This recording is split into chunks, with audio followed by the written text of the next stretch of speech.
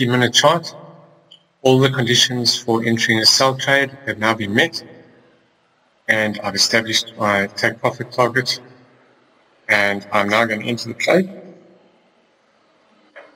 and it's not too far from where price is at the moment but um, I'm looking at making a quick trade here set my stop up there I'll monitor that and bring it down shortly but uh, for the moment all good I'm going to leave this trade to play out and I'll be back with an update. Guys, I'm back and you can see that within maybe 30 minutes my target's been hit and uh, price is still going down.